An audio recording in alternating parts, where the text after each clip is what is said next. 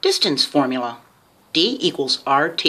All right, well, this is a formula that we plug numbers into and we just follow it.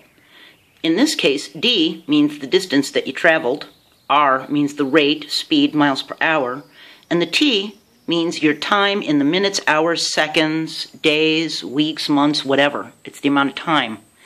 So, let me show you this really quick. This is the formula we're using. Distance equals the rate times the time. Because remember, when two letters are next to each other, it means multiply them? Well, this formula can be switched around in a bunch of different ways to use depending on what the word problem is or what the problem is. So sometimes you need to find the rate or you need to find the time.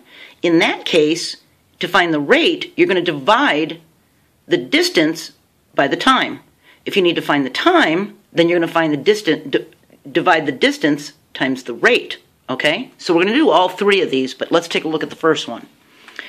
How far can Ian drive in seven hours if he averages 50 miles an hour? So the first thing we have to do is find what the R and the T are because we need to use this formula. We're trying to find the distance, so we need to find what the R and T are to be able to multiply them. Well, his rate of speed is 50 miles an hour. The time that he spent doing it is 7 hours. So because we have to multiply these two, 50 times 7, we'll do it. 7 times 5 is 35, and you add the 0 if you want to do mental math. And that gives us 350 miles. Always remember to label your word problems. You could get it marked wrong if you don't.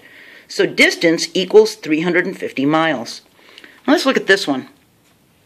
Now we're going to do the rate. We need to find the rate, so we're going to divide the distance by the time. On her trip, Mary drove 405 miles. In nine hours, what was her average speed? So now we need to find the D and the T so that we can divide them to find the R. Well, the distance she went was 405 miles. The time it took her was 9 hours. So now we're going to multiply the D and the T. We're going to divide the D and the T, I'm sorry. So 405 divided by 9, 9 goes into 405. Well, it goes into 40. 9 times 4 is 36, so we put the 4 up there and we put the 36 down here and we subtract.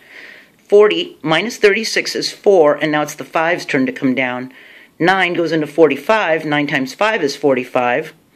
So that gives us a zero remainder, so we know it took 45 miles per hour. That is her rate. 45 miles per hour is how fast she drove. Okay, now we need to find the time. So we're going to divide the distance by the rate. Ian has 280 miles left to drive on his trip. If he averages 40 miles per hour, how long will it take him to drive that distance? So now we need to find the D and the R so we can divide them, and that'll tell us the T, the time.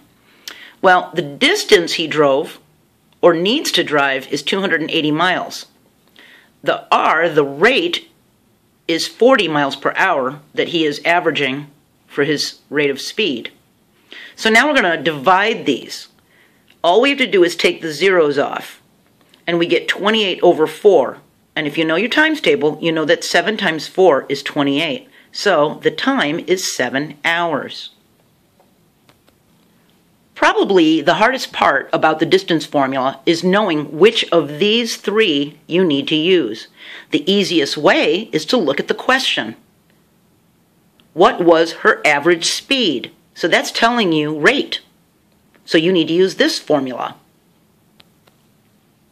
How long will it take him? How long? That's time.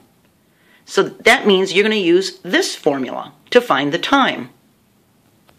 Once you can discern which of these three ways of using the formula that you need, you'll know how to solve it and how to plug the correct answers in from the word problem.